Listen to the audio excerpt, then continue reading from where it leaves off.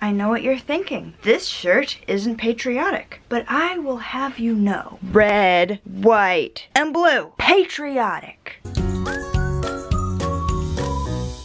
You've probably also noticed that I am posting on Wednesday. I know I'm always so punctual posting on Tuesdays and Fridays. Let's be real, normally I get them posted about 1 a.m. on the day after because I try and I try, but I put off editing till the last minute and then my computer decides it's gonna slow down late at night and, and then it just doesn't work. But I'm posting on Wednesday on purpose today because it is July the 4th, my birthday. Ah, crowd goes wild.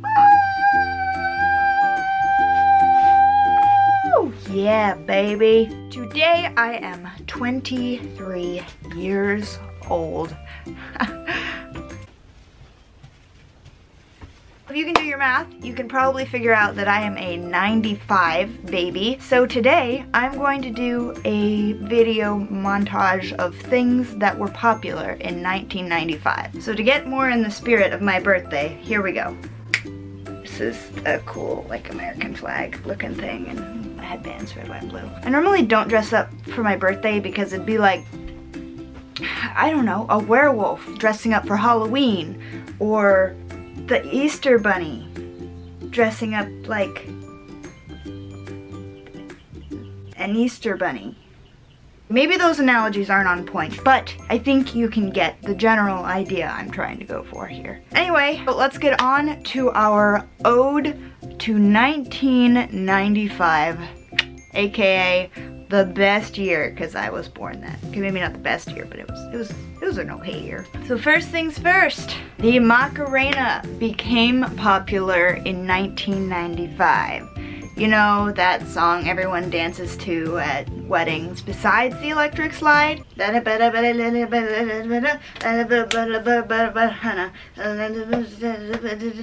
Hey Macarena! Ah! Yeah, I don't know the words of that song. If you guys do, comment them down comment them down below something that i thought was interesting was ebay was released in 1995 and amazon sold their first book in 1995 so i'm gonna kind of just smush those two together. I mean it's not like the most amazing thing in the world but it's it's pretty significant because a lot of people probably use eBay and Amazon. There are just so many movies that were released in 1995. Toy Story, Batman Forever, Apollo 13, Pocahontas, Ace Ventura, When Nature Calls, GoldenEye, Casper, Jumanji, Die Hard with a Vengeance, and Braveheart. Growing up, I remember being so freaked out by Jumanji, but still loving Jumanji. I don't know why. I think the biggest one in my childhood would definitely be Toy Story.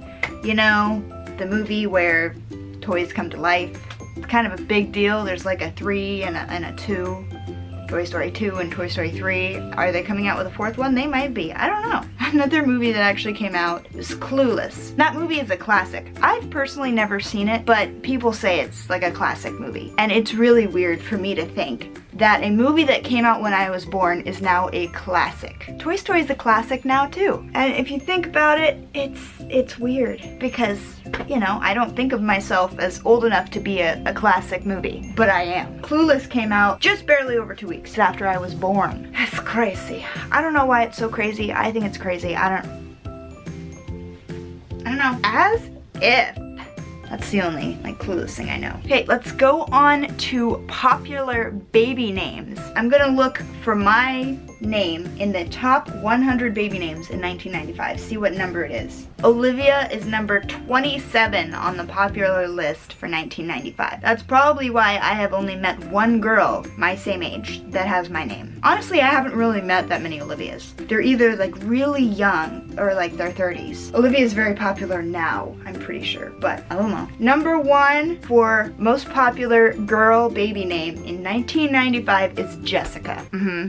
Yeah, I have a pretty good friend of mine. Her name is Jessica. She was born in 95. Number two name in 1995 was Sarah. Jessica, who was born in 1995, her older sister of two years, so Sarah wasn't born in 95. And the third name in baby names for 1995 for girls is Emily. I have a sister named Emily. We've made that very clear. But Jessica and Sarah's oldest sister's name is Emily. Sarah and Emily from this family were not born in 95, but I just thought it was funny how from youngest to oldest is first to third in 1995.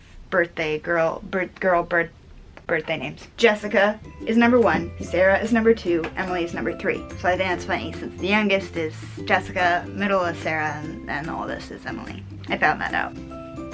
Fun fact for you guys, you don't even know those people, but I'm dissecting their family life and stuff. Number one, two, and three for boy names, Joshua, Daniel, Matthew. I have not met any guys born my same year with those names. I, honestly, I haven't met a lot of people who were born in the same year as I am. I know a lot of Joshuas, but most of them are at least like five or six years older than me. I know a lot of younger Matthews, younger, like five or six years younger than me.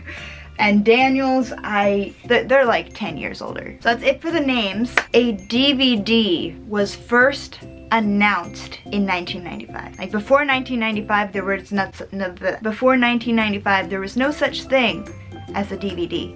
And frankly, I'm sure that there are kids in this world now, in this country, who have no idea what a DVD is. They either use Blu-ray or Netflix. So comment down below if you guys liked this video and if you guys want to see me do an ode to the 90s, an ode to the early 2000s, ode to the 80s because I think it'd be fun to like do my outfits like it and give you some fun facts on the eras. That'd be fun! Especially doing like the 50s and the 70s and the 2000s because I lived the 2000s. I dressed in the 2000s. Oh boy, that would be interesting. So that is it for today. Thank you for spending my birthday with me. I hope you enjoyed today's video. I had a lot of fun doing research on it. Happy birthday to me. You can uh, sing me happy birthday in the comments below.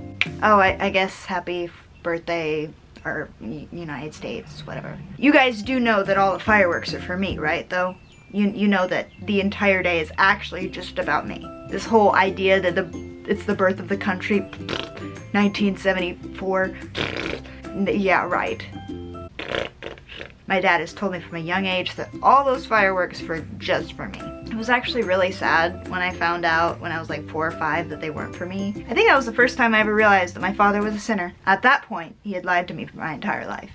That really hurt. Anyway, so if you guys like the 4th of July, fireworks, the fact that people have birthdays like me and you, and you like this video, please give it a thumbs up. And if you want to become part of the Watered Down tribe, just go down below, punch that red subscribe button, and jingle that bell so you'll be notified every Tuesday and Friday of 2018 when I post.